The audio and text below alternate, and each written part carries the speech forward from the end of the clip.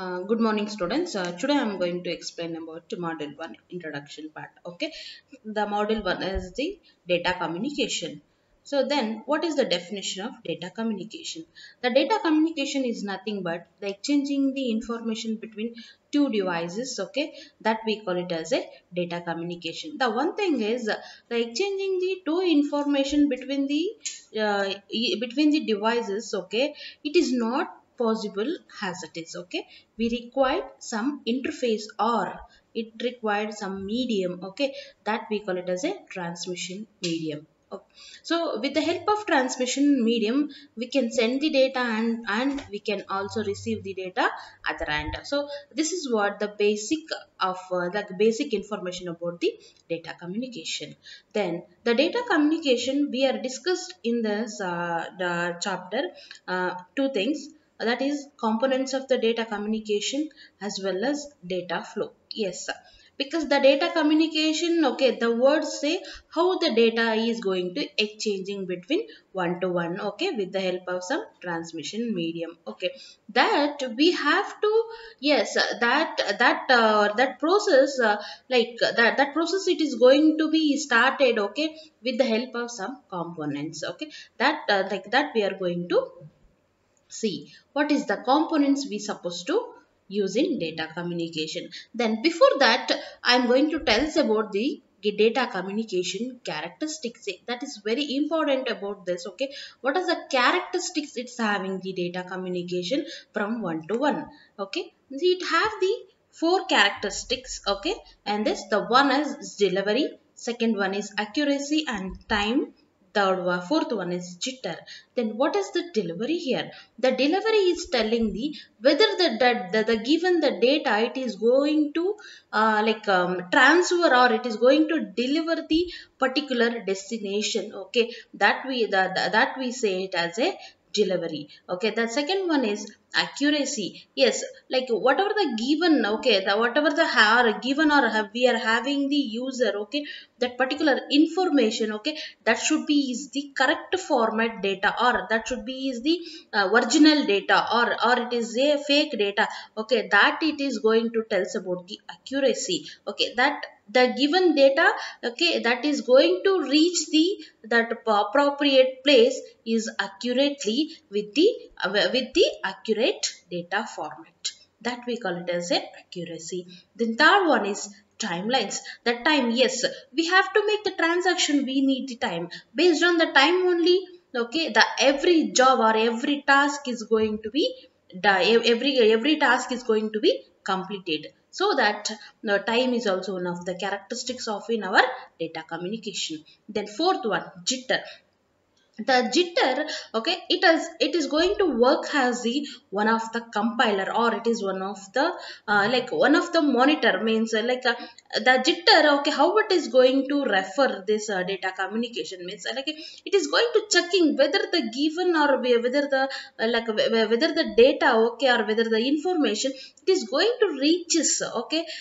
in the appropriate of appropriate time. Or if if that um, if that data or if that information having any little bit variations uh, or or it may be any major variations while sending and receiving in in via transmission medium okay? That everything is going to take care the jitter okay? These all the like these all are the characteristics of our data communication. The next one is uh, components. Yes the components of data communication it basically it have the five components okay? It should be included for making the card like data communication from one to one.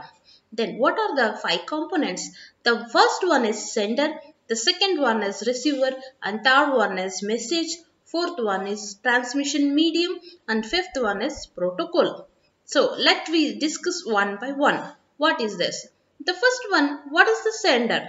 The sender is nothing but user or it may be a device or it may be a host. Okay. The whatever the uh, sender or whatever the receiver, it is going to send the message to destination. Okay. That we can call it as a sender. The sender part is just it is going to transfer the information from one end to another end that we call it as a sender. The next one is receiver. The receiver is nothing but the destination. Yes, the destination means like whatever the sender it is going to send the information or data or whatever uh, the, like uh, signals okay that is going to receive okay that is going to receive from the sender that is the job of our receiver okay then message yes here message it can be a information or it should be a value yeah, valuable information or valuable content okay? That that we call it as a message. Then fourth one is transmission medium. Yes we have to communicate one to one. We require the one of the interface or we require one of the the like uh, transmission here transmission media it is here acting as one of the interface device okay? See this transmission medium okay it is going to shows the physical path between the sender and receiver okay? That we call it as a transmission medium okay? Through that uh, through this medium only we can sending and receiving okay? Everything it is going to transaction happens in this transmission medium then the last one is protocol. The protocol is nothing but okay it is going to tells the rules and regulations okay that is govern the data communication. Yes it is going to contain the rules and uh, regulation. Means uh, like this is the rules. The each and the sender and receiver they have to follow the rules means only the limited number of rules and regulation okay that is govern the data communication okay. The sender yes the sender part is only it is going to sending the uh, task or sending the data to receiver. So this is one of the rules for the sender. Then receiver, yes, it is going to receive the data from the sender. So this is what the rules, okay, they have protocol making in the receiver. Like that each and every, okay, devices or every components I mean the each and uh, each and uh, every rules, okay. The based on rules only it is going to making the transaction.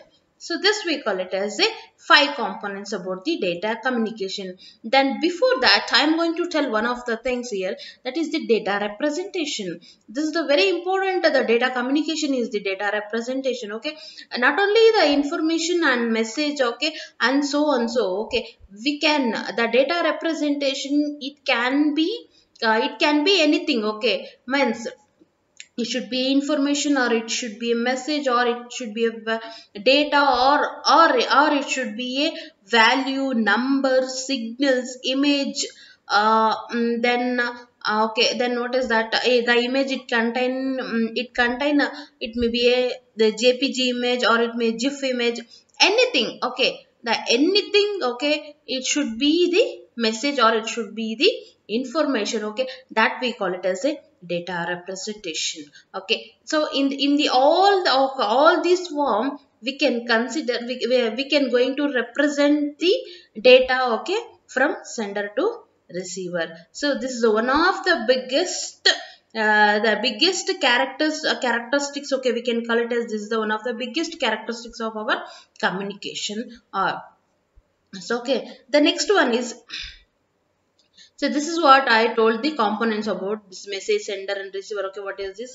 Okay, the next one is data flow. Yes, the data flow, it is nothing but uh, it can tells the uh, like uh, the data flow okay it can tells the direction about the uh, direction about the data yes then what is the direction here then uh, like means like where the data it is going to pass or where the data it, it is going to and which direction is supposed to uh, reach the um, data to where it is going to reach the data and whom whom is going to send the data everything okay that we call it as a path okay the direction of the data it tells about the path of the data okay. Then the data flow it contains three things the one is the one is simplex method and second one is half duplex method and third one is full duplex method.